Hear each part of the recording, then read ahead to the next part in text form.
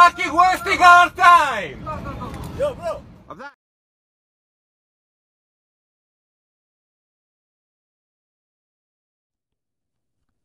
Rakaman video menunjukkan insiden melibatkan seorang pelancong lelaki warga asing yang dipercayai dihalau keluar dari satu penerbangan yang membabitkan sebuah syarikat tambang murah negara. Video insiden yang dipercayai berlaku melibatkan penerbangan pesawat yang mahu berlepas dari Langkawi Kedah itu dimuatnai oleh seorang pengguna TikTok, Sofian Azmi. Difahamkan pelancong terbabit yang dipercayai berasal dari New Zealand itu berada dalam keadaan mabuk sehingga mencetuskan kekecohan yang membawa kepada kelewatan proses pelepasan pesawat berkenaan. Menerusi klip berdurasi 22 saat itu, lelaki terbabit dilihat sedang cuba untuk diiring keluar daripada pesawat berkenaan oleh pegawai syarikat penerbangan tersebut. Kau buat apa yang lah, Mat? Dah satu hal nak delay. Pasal kau seorang, kata Sofian Azmi. Pada masa sama video...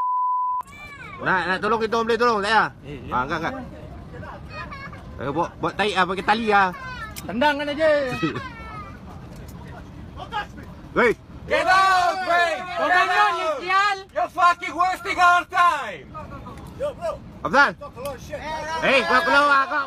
Kau- Hei, kau keluar kau. kau Kau ni keluar. kau. Kau Ini kau keluar. bekam-bekam babi. Ladies and gentlemen, please uh, remain calm. Please remain calm. Sekarang ni kau orang Malaysia pula yang anjut kau ni sekarang. Ayam buat buat kerja kau lah.